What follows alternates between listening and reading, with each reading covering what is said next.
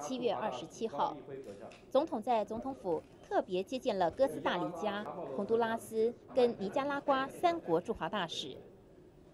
总统除了亲自说明他因故延期访问的原因之外也强调会在适当的时间分别访问各国。三国大使都尊重总统延期访问的决定也同时诚挚的欢迎李副总统的到访。